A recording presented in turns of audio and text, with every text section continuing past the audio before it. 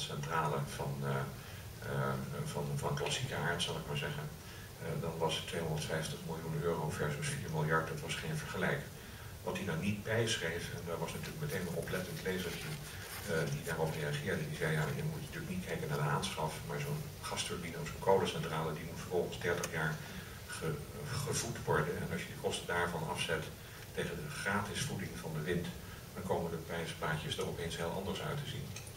Wij zitten dus in die ontwikkeling van 48 molens in de Noordoostpolder.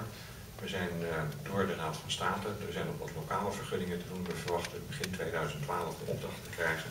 En dan gaat het om een opdracht van ruim 300 miljoen euro. Komen